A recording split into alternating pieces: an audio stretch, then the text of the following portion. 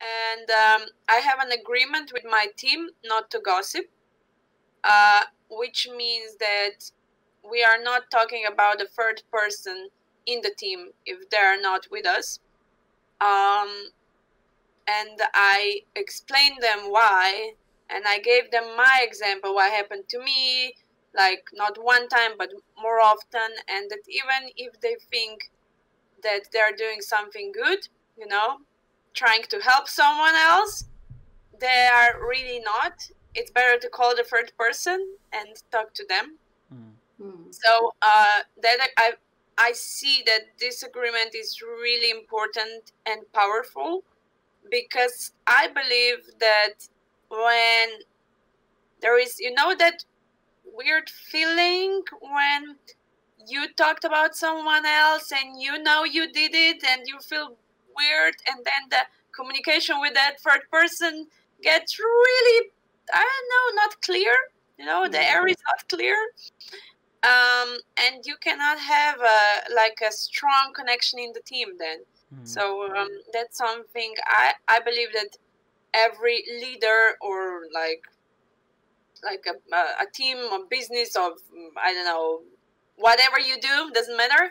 Um, even if you're not a leader you know even if you're not a, a boss or whatever you can take the you know the lead the responsibility in your team for that clear communication and clear space I've. I, I believe that would make a big difference in the world yeah definitely right mm-hmm. and, and I can say I can share here. I really respect people who does that, and, and I know sometimes Ula come to us because she she is our coach and and a therapist, so to speak, uh, give us these uh, massages for the body, which she does.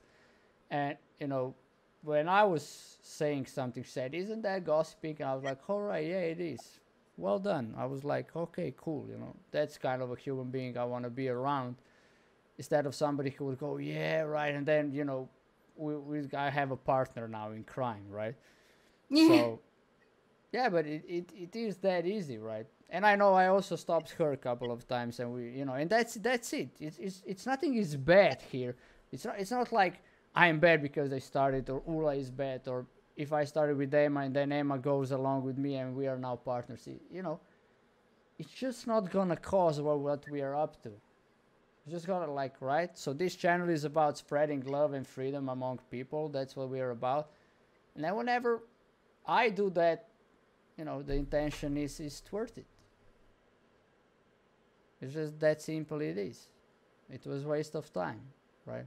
Or better to bang my head in the wall at that moment. I don't know. Do nothing. Yeah. Because I really want to be a better person every day. Mm. And I really want to talk to people that contributes to, to me in some way, you know? Like I always think about, okay, is this conversation making me a better person or it's dragging me down, or it's just blah blah.